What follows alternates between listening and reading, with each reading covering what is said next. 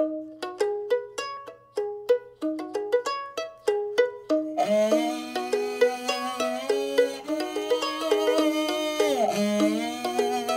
Hey there, this is John Bertles from Bash the Trash Environmental Arts, and today we're going to be taking a look at musical instruments made from rubber bands. And actually, one of our favorite musical instruments, stretch it out like this, pull on it to give it some energy, and you can see it vibrate. Now, what you want to do, of course, you want to put it on some kind of a structure to support it, so that way you get more strings, like a box. Uh, unfortunately, a box like an egg carton kind of crate is too weak and flimsy. That's not going to work. Something like this one, too narrow at the top so you won't get a lot of different sounds from the rubber bands, and too flimsy, that's not going to work either.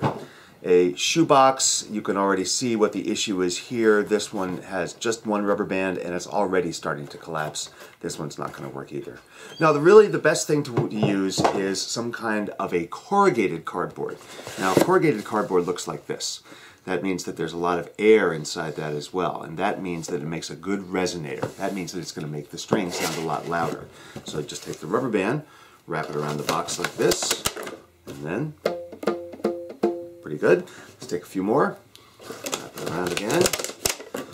And it doesn't really make any difference whether they're, they're uh, sort of twisted up or not. Now what I like to do, since they're starting to come together and the box is going to collapse, I'm just going to take a piece of wood and I'm going to put this piece of wood inside here and that'll keep the box from, box from collapsing. In the meantime, let's tune this up. Too much alike, so let's make this one a low one.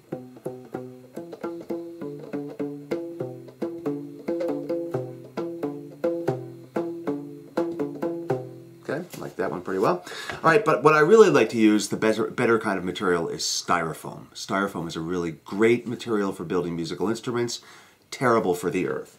And when I have my styrofoam with rubber bands, I have a really big rubber band here and a relatively big box, and I put these on top. Now, the styrofoam is all full of air, and so that makes it sound a lot louder. This one's kind of a buzzy sound because these uh, rubber bands are kind of whacking against the side of that styrofoam, and that makes it kind of sound a little bit African. If you want a pure kind of a sound, less buzz to it, something like this, where I put chopsticks along the side, and the chopsticks are just held on with paper clips, broken in half and driven into the styrofoam.